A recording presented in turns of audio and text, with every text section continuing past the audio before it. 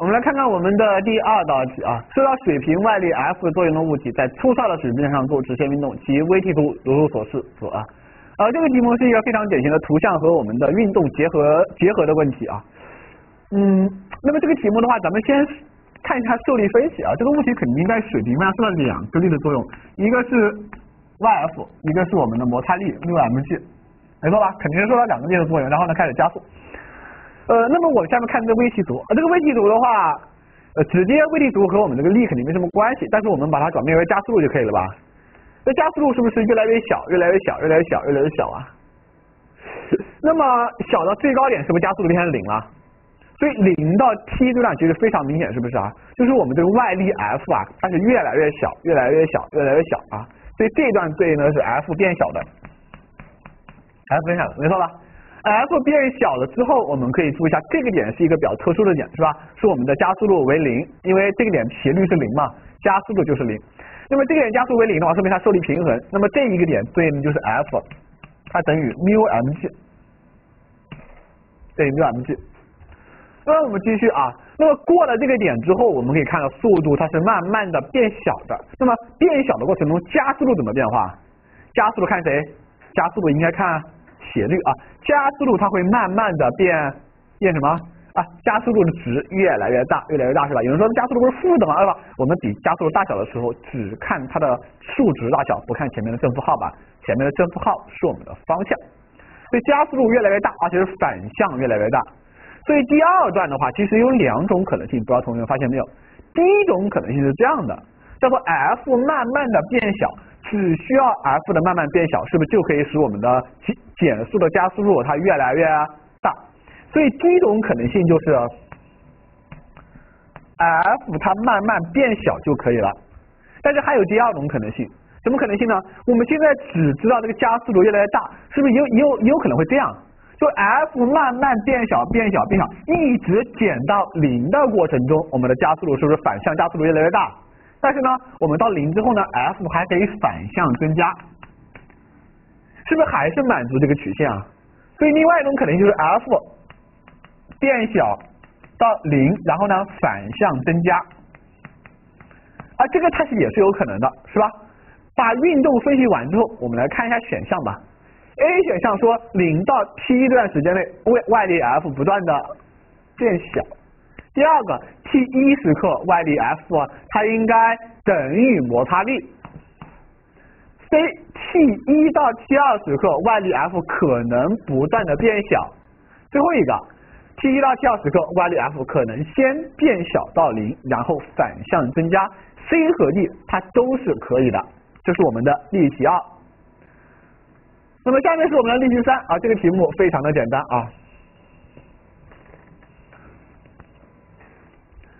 呃，我是在二零一三年一月啊，晚上的公共交通的助力系统啊，某同学骑自行车刚开始一段的运动可以看成直线运动，其运动的图像如图所示，零到 t 一时间内，那么它的平均速度是多少？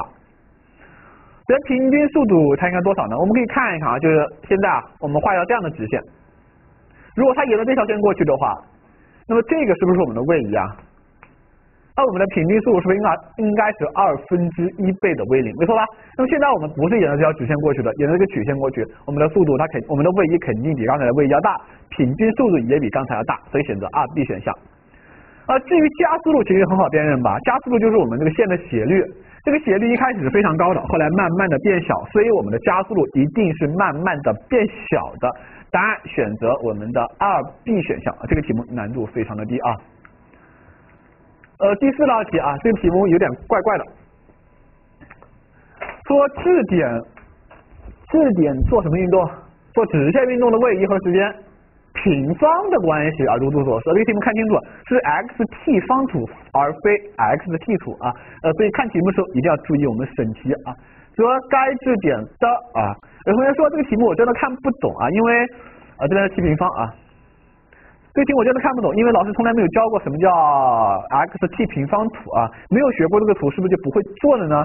呃，同学们，我告诉你们一个很好技巧，就是如果说啊，你这个图像，比如说，因为你们以后啊做题的时候，他会经常会给你一些比较奇葩的这种图像，比如说，呃，比如说 x t 方图，呃 x v 图，x v 分之一图都是有可能。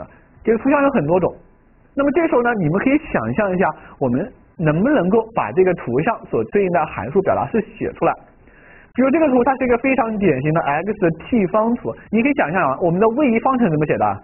位移方程叫做 x 等于 v 零 t 加上二分之一 a t 方，是这样写的吧？那你看一看，显然这个式子中啊，它就是 x 等于一个常数乘以 t 平方，没有乘以 t 类项，所以这项就没有了。所以你把这个式子它对比一下不就行了吗？这个式子叫做 x 等于啊一倍的 t 平方，呃是是一倍啊没错，就是一倍的 t 平方，x 等于 t 平方就等于 t 平方。这两个式子你对比一下，就很容易发现 a 等于多少啊？二分之一 a 它应该等于一吧，所以 a 它等于两米每二次方秒。所以这个运动它就是一个非常典型的匀变速直线运动，而且我们应该知道加速度等于两米每二次方秒，所以 A 是错的。那么 B 选项说相邻的一秒时间的位移差作为两米，那么 B 选项它考的是我们一个非常典型的公式啊，这个公式叫做德尔塔 x，它等于 a t 方的公式，a 它等于二，t 等于一方啊，所以算出来正好是两米。所以 B 呢，它是正确的。那么 C 第二秒内的位移是两米啊，这个应该是错的。那这个其实算起来也非常简单。我们算第二秒内的位移怎么算呢？因为我们知道 x 等于 t 平方，没错吧？第一秒内的位移是不是等于 e 啊？前两秒内的位移是不是 x 等于二的平方啊？所以呢，它等于四。那么也就是说啊，第二秒的位移应该是前两秒减去前一秒，它等于三，所以它正它错误的。最后这个啊，物体第三秒内的平均速度的大小是三米每秒啊，这个是啊肯定也是错的，因为我们已经发现第一秒内的位移是一米，第二秒内的位移是三米，那么。这样的话，第三秒内的位移肯定是五米，第四秒内的位移肯定是七米，因为它有一个非常典型的等差数列的性质。呃，那么这样的话，我们知道第三秒内的位移是五米，平均速度就是五米每秒，所以答案是错的啊，选择什么？选择 B 选项就没有问题了。